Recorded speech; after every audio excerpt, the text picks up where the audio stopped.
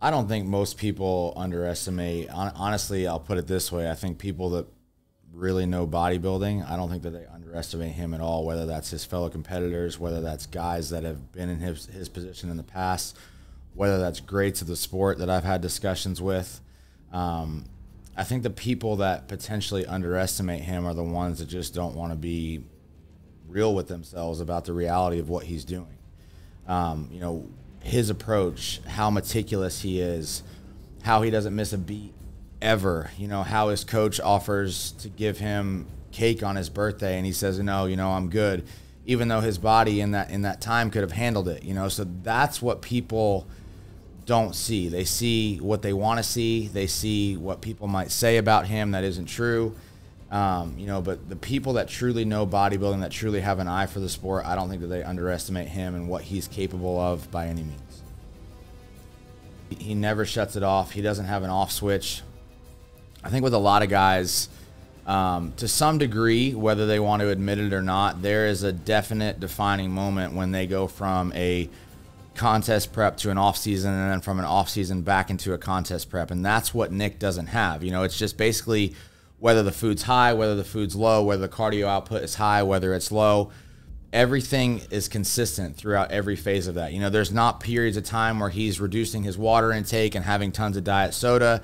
So every little variable within his plan at all times is always the same. And i think that's honestly why it makes my job as a coach. It, it, he, Nick makes my job easy um, because there's never unaccounted for variables. There's never things that I have to kind of figure out in the back of my head. Okay, is he doing this? Is he not doing this?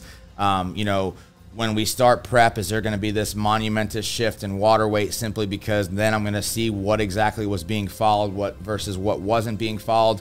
That's never in question for me. You know, so in terms of his work ethic, it's day in and day out. You know, he does abs all off season long. Uh, he does the little things, the stretching all off season long. Every off day, he's doing body work to make sure that his body is in the best position it can be throughout every phase of his prep. If you put the work in that Nick's putting in, you would see so much a, greater potential, or your your genetic capabilities would be so much greater if you guys actually did the work that he's doing.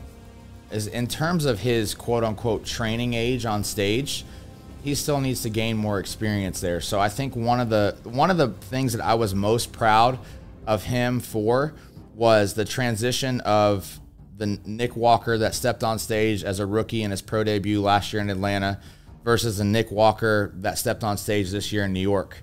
Um, and, and basically, what I saw was a guy that went from having a deer in the headlights kind of look to a guy that expected and anticipated to win the show, and he conducted himself in that manner.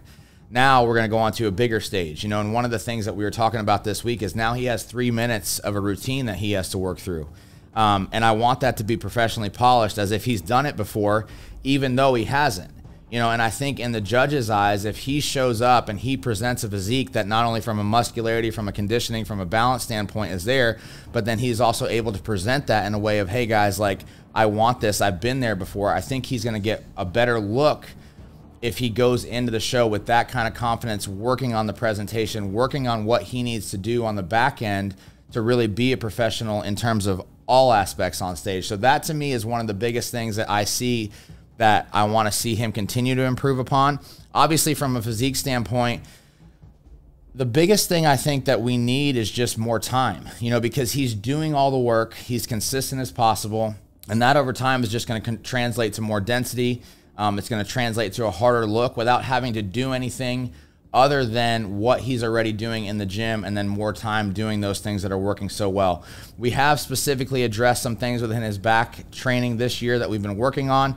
Um, we're, we're doing two back days. We're also loading his lower back more often in terms of you know body weight supported movements, whether that be rowing movements, whether that be specific hip hinge deadlift variations. So we're also putting those back into place I don't want to say we got away from them, but they weren't as consistent in the past. You know, we're, we're also very, very blessed to be here at Revive Gym, and there's so many good pieces of back equipment that we can choose from.